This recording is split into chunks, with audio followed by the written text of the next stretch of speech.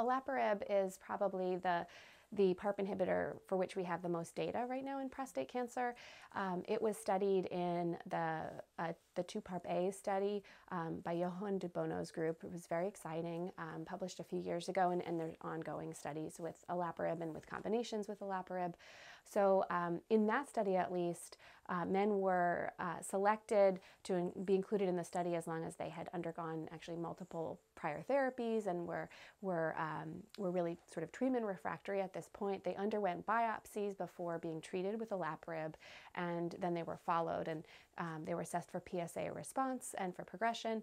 Um, and in this study, for patients who had DNA repair defects, and this was looked at after they were already on the drug, um, I believe the response rate was around 88%, and response included um, was mostly based on PSA response um, in, in this study.